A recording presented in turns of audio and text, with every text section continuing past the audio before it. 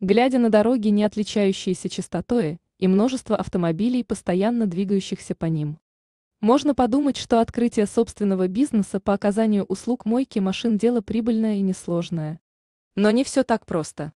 И начинающему предпринимателю не лишним будет ознакомиться с некоторыми особенностями открытия собственного автомоечного комплекса, чтобы в соответствии с законом зарабатывать на чистоте.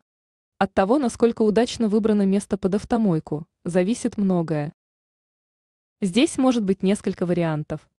Так мойка, расположенная у оживленной магистрали, будет привлекать проезжающих клиентов.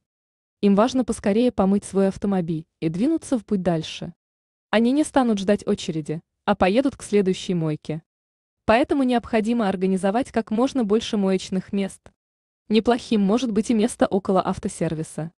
Ремонт машины часто начинается именно с ее мытья. Гораздо приятнее ремонтировать чистый автомобиль, чем загрязненный.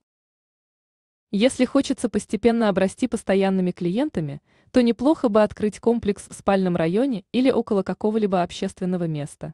В такие места клиенты будут заглядывать в определенные дни.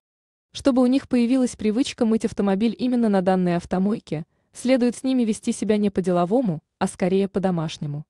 Завоевать сердце клиента можно и оказанием услуги надлежащего качества, и приятным общением. Отличным вариантом может служить здание, собранное из сэндвич-панелей. Это очень быстро, за несколько дней все будет готово. Мобильно в любой момент здание можно разобрать и перенести в другое место. Подобное помещение легко оборудовать по потребностям бизнеса. Автомойки из сэндвич-панелей – это еще и доступная цена. Не надо возводить мощный фундамент, собирается все моментально. Уже через несколько дней можно открывать комплекс и зарабатывать деньги. Перечень их может быть значительный. Например, помимо мойки автомобиля, следует наладить химическую чистку салона. А можно предложить и помыть двигатель. Неплохой вариант организовать кафе, где бы владельцы автомобилей, попивая кофе, дожидались, пока их верный железный друг приводится в порядок. А можно открыть небольшой магазинчик, особенно если поблизости его нет. Хороший персонал – залог успеха.